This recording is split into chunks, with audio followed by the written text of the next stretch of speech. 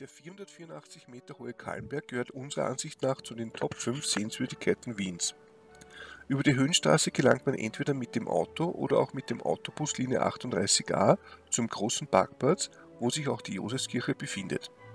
Diese römisch-katholische Kirche wurde 1629 fertiggestellt und etwas mehr als 50 Jahre später von den Türken in Brand gesteckt, danach aber wieder aufgebaut. Neben dieser geschichtsträchtigen Kirche befindet sich ein Aussichtspunkt, von dem aus man einen tollen Blick über Wien hat.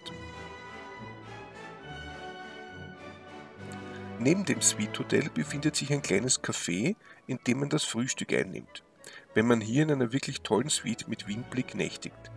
Neben dem Aussichtsplatz befindet sich das Sky Lounge Restaurant, in dem gut Brunchen, aber auch hervorragendes Abendessen möglich ist. Etwas weiter links ist noch die Modul University Vienna. In dieser Privatuni kann man Wirtschaft oder Tourismus studieren. Wenn man die Höhenstraße wieder runterfährt, hat man bei einem weiteren Aussichtspunkt einen schönen Blick nach Klosterneuburg mit dem wunderschönen barocken Stift Klosterneuburg.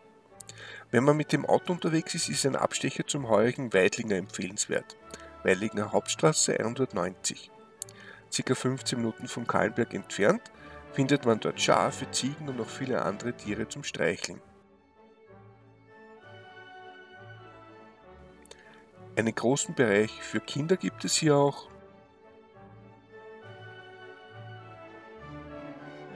Und gutes Essen und Trinken.